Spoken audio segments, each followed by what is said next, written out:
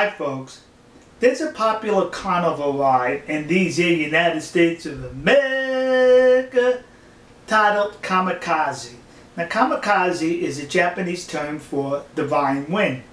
But this ride here, you secure yourself in these cages at the bottom and then the ride proceeds to sway you back and forth and back and forth and back and forth till it gets to the point where the cages with the human inhabitants swings way to the top causing them to be upside down. Now they're secured in those cages and then it swings down again to the bottom.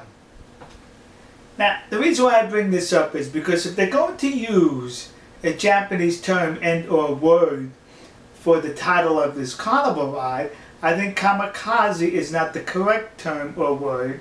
They should use the word baka. Baka means idiot because you have to be some kind of an idiot to get, on a ride like that. Golly!